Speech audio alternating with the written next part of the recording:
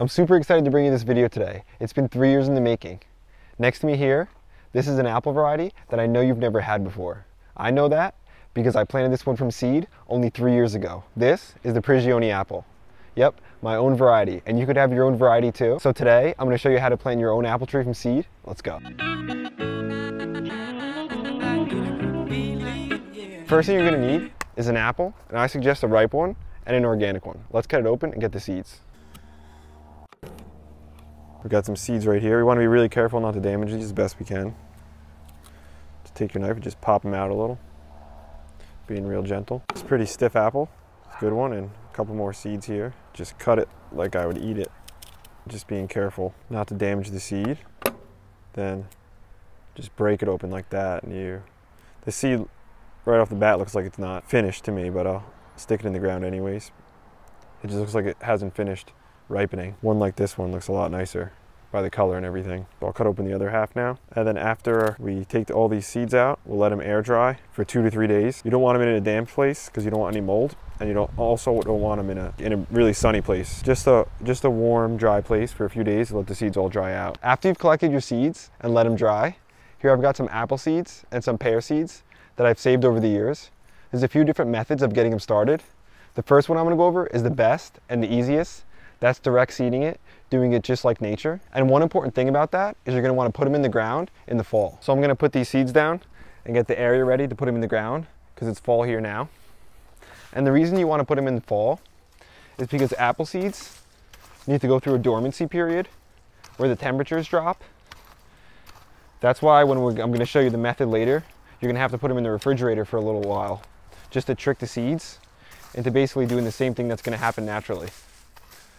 So here, I'm gonna dig back the wood chips till I get to the dirt because we wanna plant in the dirt just like any other seed. And this dormancy period is important for the seed to finish ripening or basically for the embryo to finish reaching maturity. Now that I'm down to the soil level and you can see how beautiful the soil is from the no-till method using wood chips, Look how nice and beautiful that is. Got worms just everywhere in here. So we're gonna dig a little furrow in there to get our seeds ready to be planted. Now we're gonna grab the apple seeds. And this general rule of thumb for how deep you plant the seeds, the bigger the seed, the deeper you plant it. The smaller the seed, you don't plant it as deep. So if you've ever planted a bean seed, we wanna plant these not as deep as a bean seed, but deeper than something you plant like a carrot. Whether it's a quarter inch, uh, three quarters an inch, half an inch isn't a huge deal. Just make sure you got the seeds all covered with some good dirt and make sure they're gonna be able to stay moist. So once that's all covered, make sure it's all good. I'll just leave that, cover it with a very thin layer of mulch. We don't wanna cover the wood chips back over it, although it won't allow the seed to come up. Now that you have them all planted, you can relax all winter. When you come back in the spring, you should see some of them starting to pop up. And not everyone's gonna pop up. That's why I suggest overplanting a lot of seeds. If you think you want three apple trees, plant 15 to 20 seeds. This way, if 15 come up or 20 come up, you can pick the best three. You don't want to just put three in the ground and none of them end up coming up. And that's just one method and the easiest method of starting them. But let me show you a few other methods if you can't direct seed. For those of you who know about apples or have done some research, then you know it's not common for someone to plant an apple tree from seed. Rather, it's really common to buy a grafted apple tree. And that's what I suggest doing if you have a small space. And the main reason for that is when you plant an apple from seed, that apple is not going to grow true to type. What I mean by that is if you have a gala apple and you save the seeds from it, then plant them and the tree fruits, you're not just going to get a gala apple. It's not going to be the same one from the seeds you planted because there's just so much genetic diversity within the apple. And also, it could have been pollinated by just a different tree, so you're gonna have two different parents. So the likelihood that you're gonna get the same gala apple from the seed you planted is basically slim to absolutely zero. If you're gonna be starting your seeds indoors, there's a number of ways to do it. One way is to take a container like this, or you could take a plastic bag. And after your seeds are all dried, what you want to do is take some paper towels, and I have some napkins here, some good quality napkins that are basically the same as a paper towel. So I'll lay that in the bottom, spray the paper towel just to dampen it. You don't want it wet, just moist. And I'll take all these seeds and put them in. And it'll be mimicking what I had previously mentioned about the dormancy period by putting this into the fridge. And I'm going to take the other paper towel, or this is, again, a good quality napkin. It's basically a paper towel. I'm gonna spray it to dampen it. You don't wanna, you don't wanna soak it, you just wanna dampen this paper towel because the seeds need to be wet. And after you put it in the fridge, the ideal temperature is around 40 degrees. And after you put it in the fridge, it's gonna take from two to three weeks all the way up to a couple months in order for the seeds to sprout because all seeds are a little different. That's a really big window for germination. So you're gonna wanna come through and just every couple days or so, make sure that the paper towel in here stays damp enough and make sure it's not too wet and there's no mold forming or anything. If you did it right, then there shouldn't be. After you see some little taproot sprouted, you can either plant those into a pot or plant those directly into the ground as long as it's spring. If your seeds in the fridge haven't sprouted in about 60 or 70 days, you can still plant them out in the spring. They may just need a little warm weather in order to sprout. I know with this previous method, there's a big window of when they can sprout. And I think I found a little way around this that I've done in the past. So I'll take the seeds like I previously did and I'll put them in here, but I won't really dampen the paper towel as much as I did. Just a tiny, tiny little bit of wetness, not much at all. Not enough for the seed to sprout and then I'll put it in the fridge for about 60 to 70 days. This way I know it's not gonna sprout because it doesn't have enough water, but I'm still kind of mimicking that winter dormancy period. Then when spring comes, a couple weeks before, you could either wet that paper towel to start getting it open and sprouted, or you can just wait and plant that in the spring. If your seed germinated and sprouted and you can't plant it outdoors right now, or you just don't have the space, you can put it in a pot. And here's one that I've transplanted out. And apple trees really typically don't like being transplanted and they don't like really being hardened off. They'd rather really be started in the spot that they're gonna be if you're gonna grow from seed. One of the main reasons for that, and one of the great reasons for growing an apple tree from seed, is you could have a really strong taproot if you plant it directly. You'll never disturb that taproot, and that'll be really healthy and a huge help for the tree. This apple tree right here, I grew inside in a pot and transplanted out, and it's doing all right. But as opposed to the one that I started from seed, it's a lot smaller. And some of the reason could be because I may have damaged the taproot in transplanting or just the taproot never really had the opportunity to shoot straight down because the pot could have caused it to kind of swirl in a sense and get tangled with some of the other roots. But I'm not trying to discourage you if you have to grow in a pot and you just don't have the space because this thing is still doing well and I hope to get some fruit out of it soon. I'm not sure exactly why I got fruit on this tree so young in only three years, but one of the things I do to it that could be a possible reason is I really prune this thing heavy and that could have possibly stressed the tree out in a sense a little bit and caused it to fruit at a young age. That's just a possibility. And another thing to note is all the fruit on apple trees and pear trees and those, it's always gonna be on the lateral branches more, not on the branches growing straight up. So I get rid of all those straight up branches when it was younger and encourage more of these laterals where you can see the fruit is actually on. And something I do to save space with this tree is in the spring, once it starts setting its flowers and I know where the flowers are, where they're all gonna be, I come through and I just cut out anything that I know isn't gonna be a flower, isn't gonna have fruit. Because I don't want this tree to waste any space in my garden. It's just here to set fruit for me. So right after it sets fruit, I cut out a lot of those sucker branches and everything.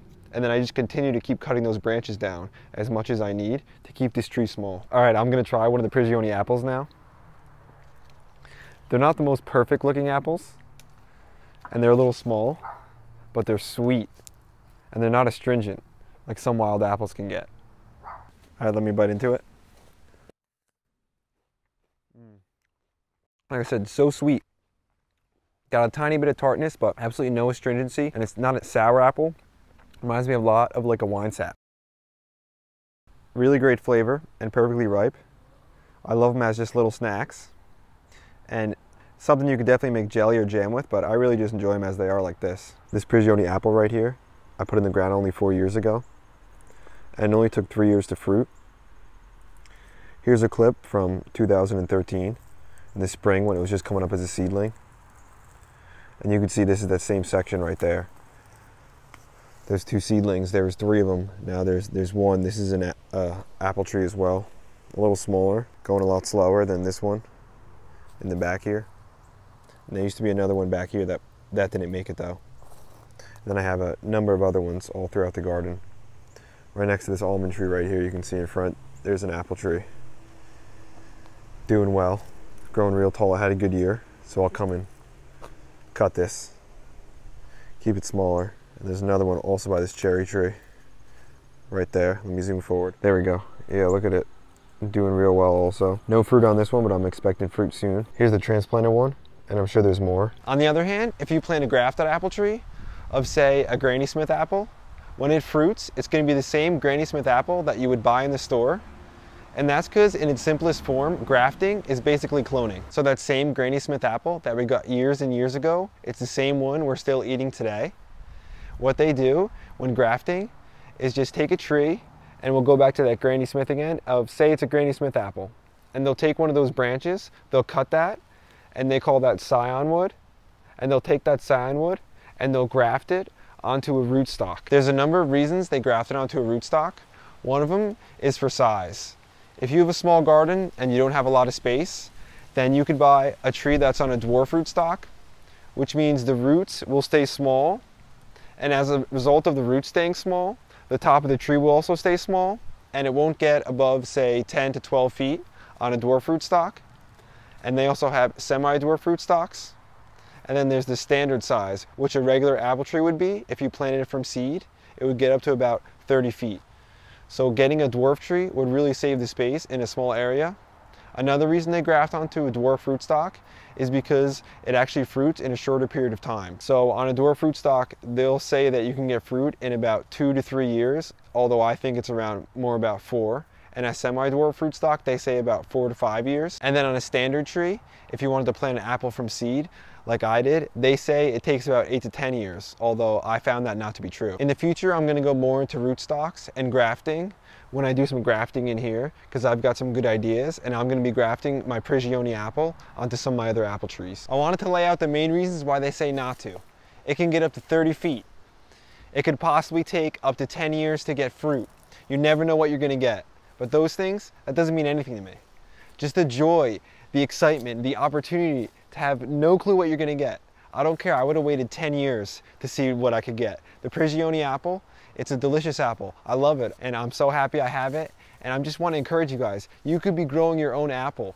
It didn't even take what they said the length of time. So don't let those numbers, don't let that stuff fool you. If you have the space, if you have the patience, you gotta take the chance. How do you guys think we got any of the apples we have now? Someone took a chance. The Granny Smith apple I was talking about before. Maria Ann Smith planted that apple. She took the chance. Now she has her own apple. That's what I want to have in the future. I want to be planting more apple seeds, more trees, just the opportunity. I mean, to me, that's just so great. Thanks for watching, guys. I'm so happy I got to bring this video to you, to share with you the Prigioni apple. If you enjoyed the video, share it with your friends. I want to get this video to a million views. Let's get a million apple seeds planted. And when you plant the trees, share them with me on Facebook. I want to see them growing up. Let's get some new delicious varieties. If you enjoyed it, hit the like button, hit the subscribe button. See you in the next one.